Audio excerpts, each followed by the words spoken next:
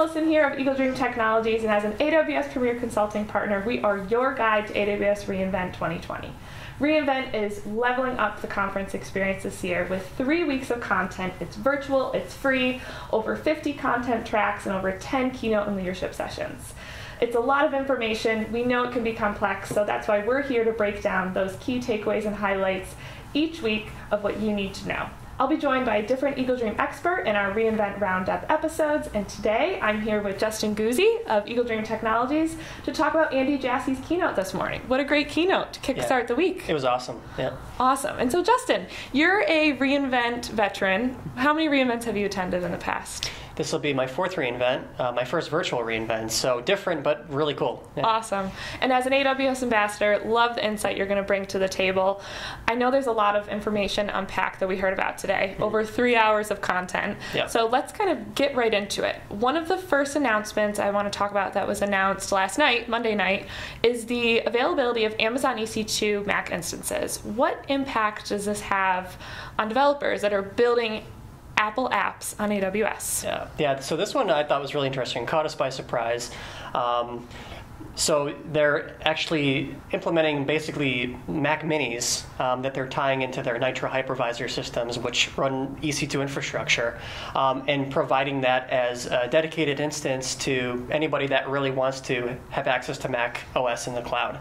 Um, so we're really not sure how they did it. Um, some type of magic under the hood, but it's really cool. Um, but I know that there's been a lot of customers looking to uh, leverage Mac in the cloud uh, as they develop applications. So I think it's going to be really interesting interesting to see how it, um, you know, how it develops going forward too. Yeah, such a game changer, and oh, yeah. leave it to AWS to kickstart the week like this. Definitely. Awesome. And so today with Andy's keynote, I noticed a few common categories. So I thought today we would break up those categories and you tell us if there's a specific highlight or announcement that you're most excited about. So the first category I want to get your input on is disk and compute performance. What are you most excited about that was announced today that you're looking forward to related to disk and compute performance? Yep. So um, a couple that come off the top of my head, um, GP3 volumes. Uh, it's a new type of elastic uh, block store volume that they're offering. Um, again, comes in a higher uh, higher performance, uh, lower price point. Um, so you're seeing probably about uh, four times the performance over previous generations of GP2 volumes.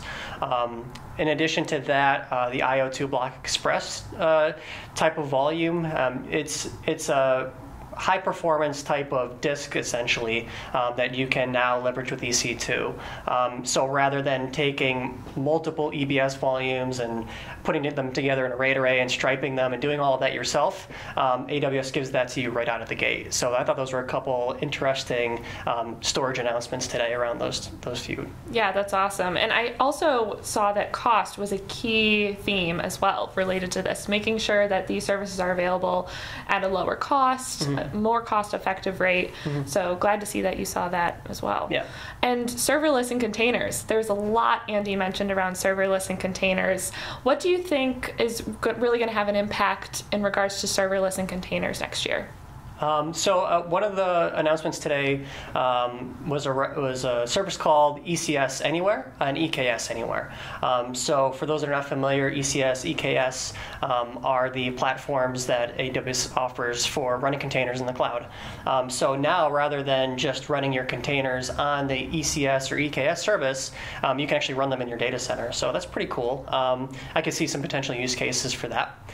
in addition to that another one that I thought stood out was a service called Proton. Um, and this is where uh, Amazon seems to step in and really take away that heavy lifting for developers and um, those that are using the platform. So the ability to manage microservices at scale. Um, any any business that leverages microservices using serverless architectures uh, knows that it can get out of hand pretty quick uh, especially when you're you know deploying lots and lots of applications. Uh, Proton kind of steps in and simplifies that process and the workflows around deploying serverless applications. Um, so now your teams can focus on the more important things rather than having to you know manage all of these these different components and pieces of infrastructure to run your serverless applications and mm-hmm. microservices. So a really great service. I think it's going to be beneficial for a lot of our customers as well. And really focus on the customer experience. Definitely. That's yeah. great. Great. Another component that Andy spent a lot of time on is database and data lakes. A lot of exciting things in that space. Yeah. And I know Andy spent some time discussing how much data AWS customers are using and how that is growing rapidly. And I think one specific point he mentioned is more data is created every hour today than an entire year 20 years ago.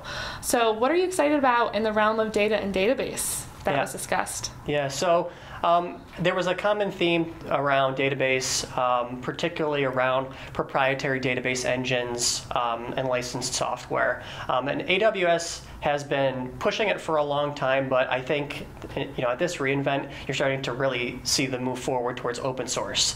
Um, so you know customers that are using proprietary databases and software, um, paying a lot for licenses for things like Microsoft SQL Server. Um, you know, the, the push is going towards that open source, uh, much more scalable type of database technology, um, using things like um, Aurora, for example. So, um, f- for example, um, Aurora Serverless um, is one of their offerings. So there's Aurora and Aurora, Aurora Serverless. Um, traditionally, you know, they had a, a, a Aurora Serverless version one, um, which was great. It's and it's still a great service for uh, customers that are looking for that scalability, uh, that pay-as-you-go type of service. Um, with uh, Serverless v2, um, you still get that that great scalability and low cost, but even faster now. So you don't have to wait for that Aurora server uh, serverless cluster to scale up. It does it within milliseconds. Takes it to the next level. Yeah, definitely. Um, so I think that's a huge benefit for customers looking for that again that pay-as-you-go type of model. Um, you know, along the lines of moving more towards open source, uh, there's a service called Babelfish that they announced. Really interesting name. Love the name. Yeah, love it too. Um, but um, this was really cool because it's helping customers that again are using proprietary type of databases like Microsoft SQL Server, for example, um, and using a translation layer in between so that they can leverage Amazon Aurora. So this in particular uses uh, allows customers to use uh, Aurora Postgres. Um, so this will automatically translate it um, when the applications are talking to the database. Um, it's it's it's doing that for you. Um, and this is kind of that, that first step in the direction of going towards uh, an open source type of database technology. Having some more freedom. Yes, yeah. Again, that database freedom. Um, you know, that's what Amazon's push is getting people more towards open source, scalability, flexibility, low cost. Awesome. Great. Another bucket to kind of wrap things up, which I know is a super hot topic for so many people, is artificial intelligence and machine learning. And one new thing this year is they have a specific keynote dedicated to machine learning next week. I can't wait. But Andy gave us a couple sneak peek of those announcements. Mm-hmm. And I really want to hear your thoughts around Connect. There's a lot of really Oh, yeah. exciting things coming with Connect. Yep. Yeah. So um, you know, Connect is the uh, essentially contact center in the cloud for for those that aren't aware. Um, there's some really interesting services there where they're tying in AI and ML um, to really improve the customer experience. Um, so, for example, Connect Wisdom uh, is one service that has come out for Connect, um, and that uh, is really interesting in how um, it's able to analyze speech. So, for example, if somebody is calling technical support or having an issue with something, um, it can pick up the the speech of that person um, and then uh, bring up relevant support articles for the tech support person on the other end. Uh, so, for example, like you know if you know, they say, "Oh, my box was damaged during shipping," um, it will analyze that and then bring up articles for the tech support person to how to remediate that issue. Um, so, really interesting way of using AIML again for the customer experience. Super relevant this Yeah, year. definitely, especially around this time of season. You know, when Yes. there's lots of calls coming in, I'm sure for you know issues during shipping or whatever is going on. So.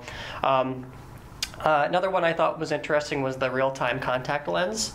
Um, so, providing uh, the ability to, to analyze in real time the customer experience. You know, you know what's that call like? What's uh, what what is the the temperature of that call? Is the person angry? You know, are they happy? Um, previously, you know, they were able to.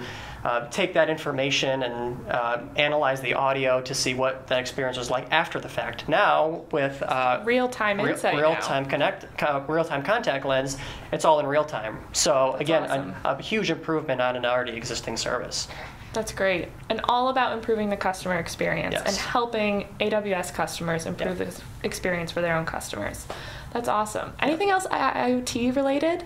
Um, yeah, there's a few announcements. Uh, IoT industrial. Um, so uh, Amazon Monitron uh, and Lookout, uh, which are focused around uh, predictive maintenance for um, things, for example, like um, equipment in a factory. Um, you know, to be able to ingest information on IoT devices uh, to help customers, you know, be proactive um, as it relates to maybe you know any issues that might be happening at any given point in time with equipment.